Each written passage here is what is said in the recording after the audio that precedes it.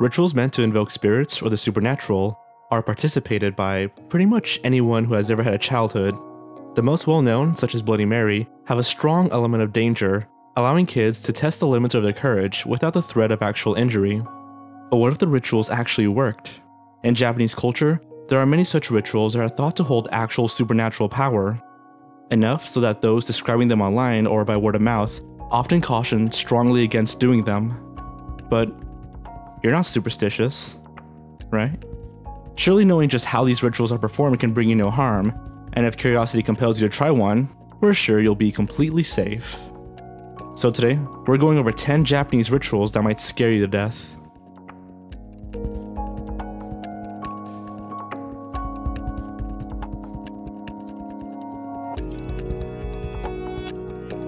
The Bath Game, also known as Daruma-san. The bath game is distinctly not for the faint of heart. This ritual must be done in a bathtub, not a shower, right before going to bed. The player must fill the tub, then turn off the lights. Sit in the middle of the tub, in the dark, facing the faucet. The player must wash his or her hair while repeating the words, Daruma-san fell down, until the hair washing is complete. During this time, you must keep your eyes closed. It is said that if you are doing this properly, the image of a Japanese woman falling in the tub and gouging out her right eye on the faucet will enter your mind and that you may then feel movement or a presence in the tub behind you. Whatever you do, you must not open your eyes, but ask the question why did you fall in the bath? Carefully exit the tub and, leaving everything in the bathroom just as it is, shut the door. It is now safe to open your eyes. And you must then go to sleep, for the game begins the next morning. As you go about your day, the ghostly one eyed woman will follow you everywhere you go. She will attempt to not be seen while closing the distance between you. You must not let her catch you if she gets too close and you are able to catch her in your sight, shouting, Tomare, will slow her down. Use this command sparingly, for it will slow her down less every time you do so. To end the game, you must shout, Kita, which means, I cut you loose, while making a chopping motion with your arm. The game will then be over. But if she suspects you are attempting to end the game, she will become even harder to spot. They say that those who lose this game do not live to explain what happens. And also, one final note. If you do happen to play and win, do not ever play again. If you do, the ghost will start the game from the position she was in last time, which is likely to be right behind you. White kimono. To play, you must lay on your bed between the hours of 2 a.m. and 3 a.m. Stare at the north corner of your ceiling. Then, slowly, Shift your gaze to each of the four corners of your ceiling one by one, going counterclockwise three times. Cross your arms over your chest and repeat the chant Onbero kya moshironi soaka three times. Then, imagine a woman with long black hair in a white kimono, covered in blood. Imagine her creeping towards you, coming closer and closer. Then, When you're picturing her in front of you, stop visualizing. Uncross your arms, turn off all the lights in the room, and go to sleep, if you can. The woman you imagined will appear in your dreams. There are no instructions as to what is supposed to happen, only a short list of things not to do. Do not speak to her. She may ask your name. Do not tell her. If she tries to whisper in your right ear, do not let her. Shaking your right hand should wake you up. When you do wake up, examine the corners of your ceiling. If they look normal, no blotches or shadows, then you are safe. If they don't, well, we told you this might be risky.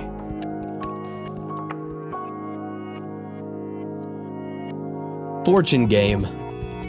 The game of Tushiora, or the Fortune Game, is one that may have real world implications, as players must find a crossroads in full dark and talk to people that pass by. Now, we suggest you play this game in smaller groups, as this could be dangerous for purely non supernatural reasons. To play, players must bring a comb and must have something to cover their face. When you have arrived at the crossroads, run your fingers through the comb and make a sound and repeat this phrase Tushiora, Tushiora, grant me a true response. Three times. Then, simply wait for a stranger to appear. It must be not anyone known by any of the players in the group. Each player must cover their face and then ask the stranger to grant their fortune. If they refuse, uncover your face and wait for someone else. It is said that whomever answers must do so truthfully. But be warned, this ritual is based on an ancient legend, which state that powerful demons and spirits lurk at the crossroads in the middle of the night, so there's no real way of knowing who you're speaking or asking your fortune from. Or whether the answer, however truthful, will be one that you want to hear.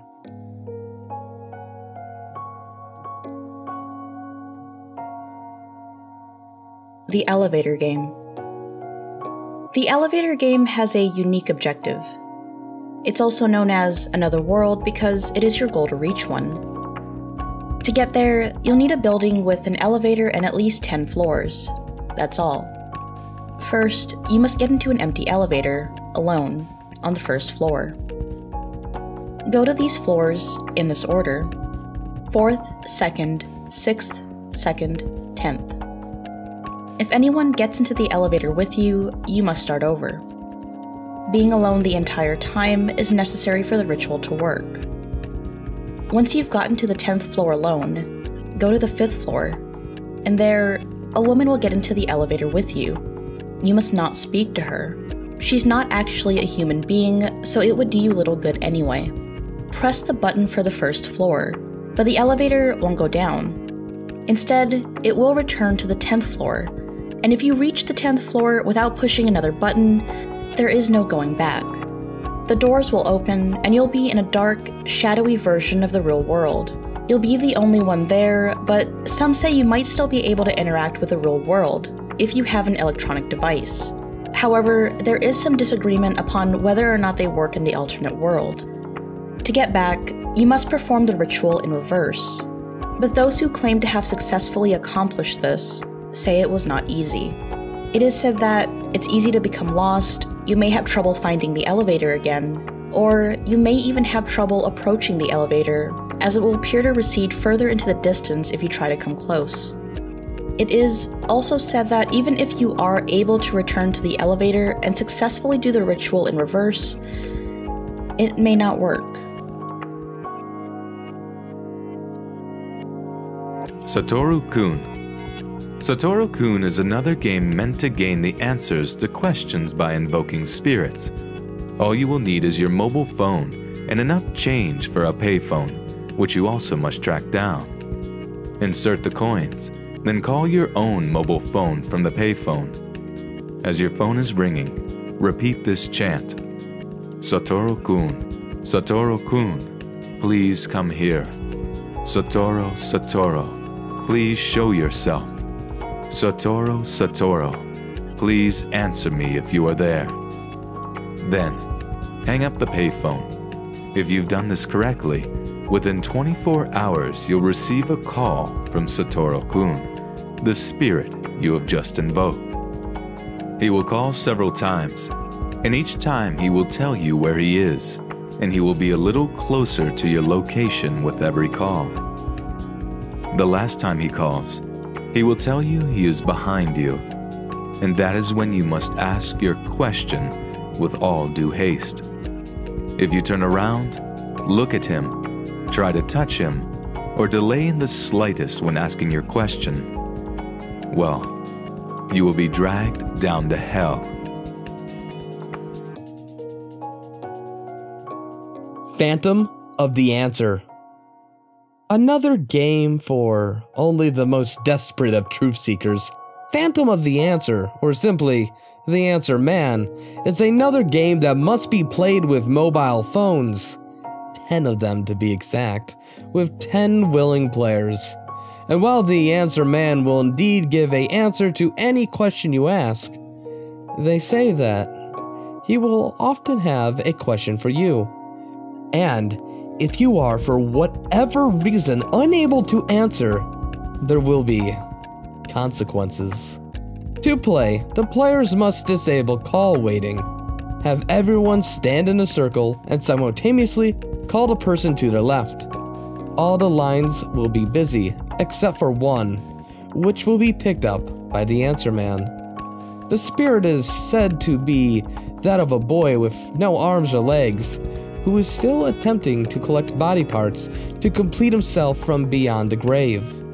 Therefore, if you're unable to answer the Phantom Man's question, after he's answered yours, you will feel a tingle in some of your body, and, according to legend, will subsequently lose the body part to an accident or illness in short order. Some versions of the legend say that the phantom won't even wait that long. A gnarled hand will come out of your phone and grab a limb and just take it right then and there. To end the game, just tell the phantom that you have to go.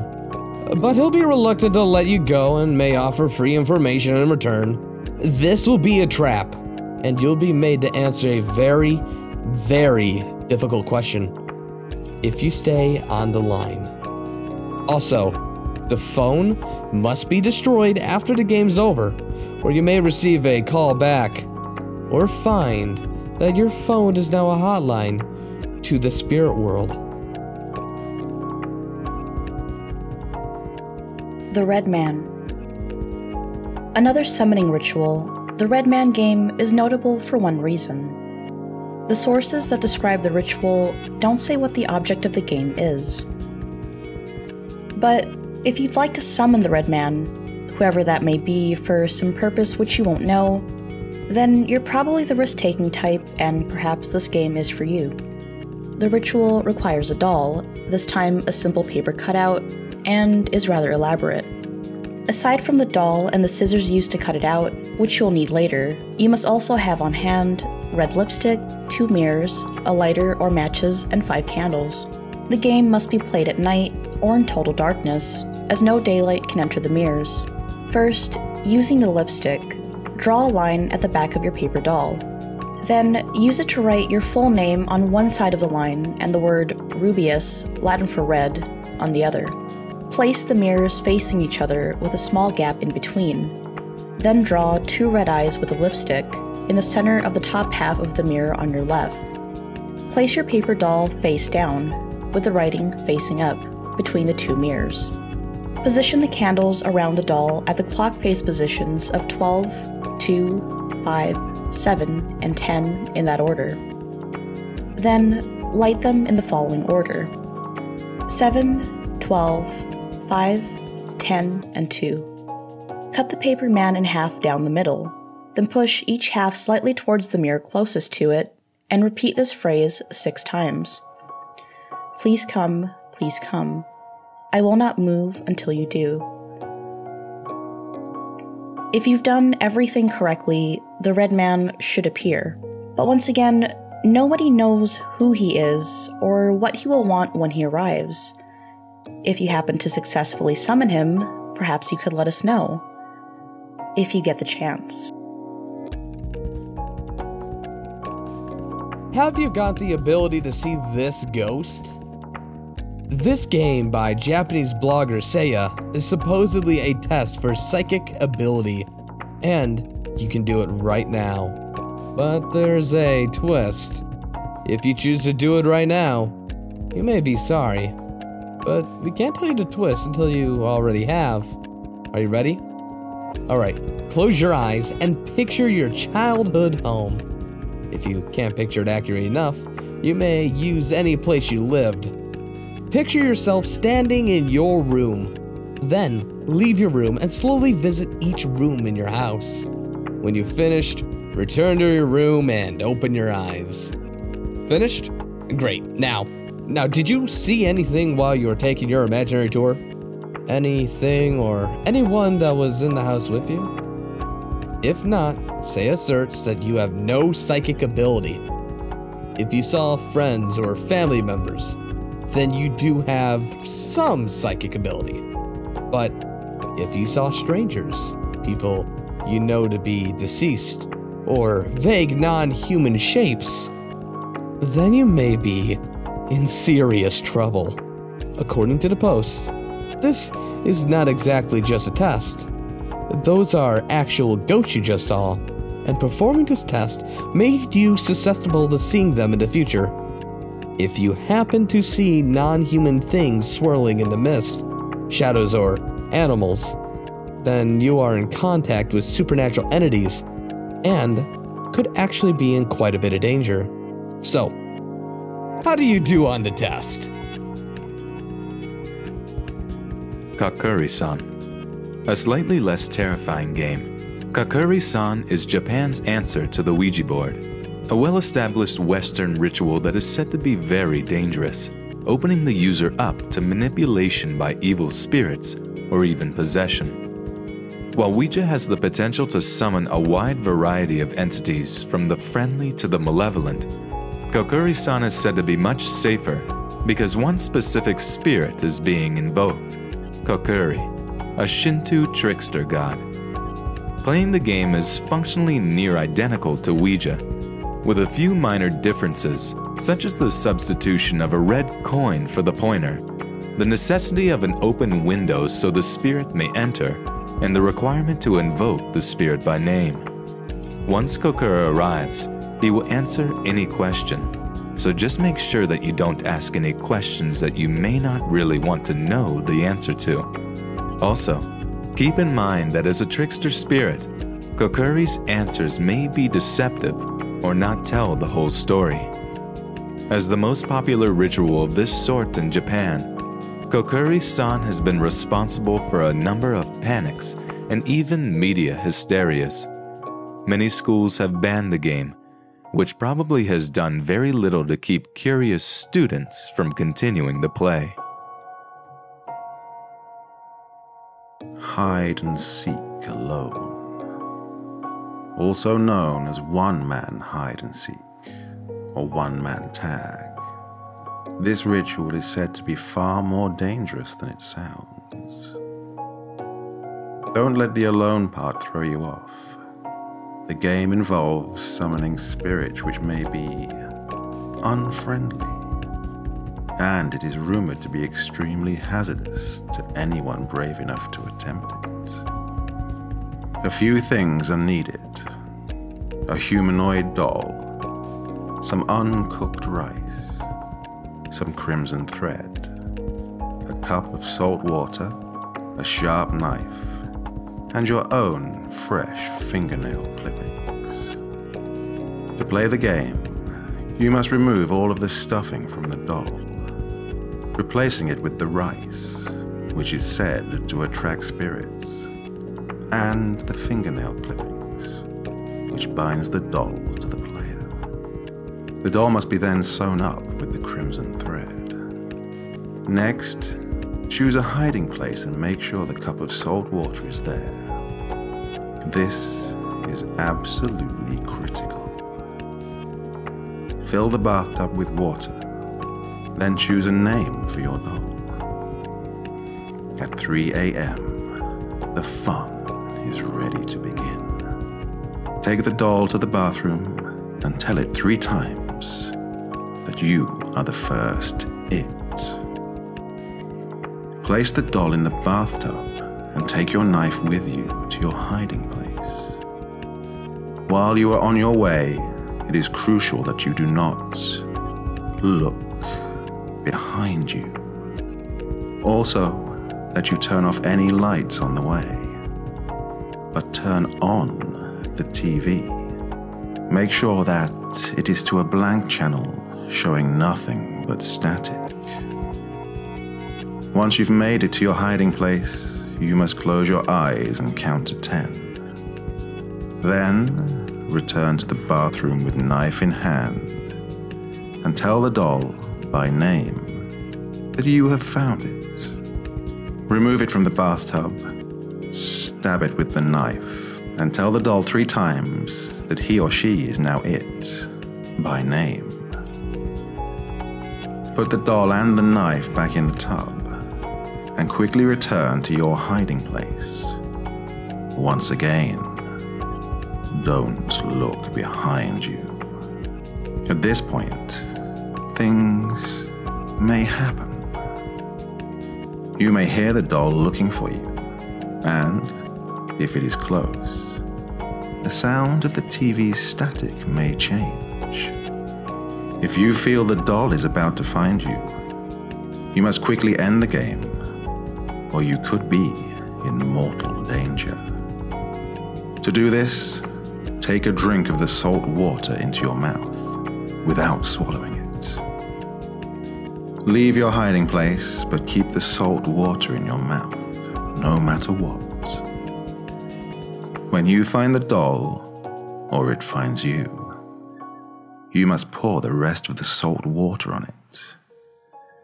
Spit the water in your mouth over it as well, and then say, I win, three times, and cut the crimson thread.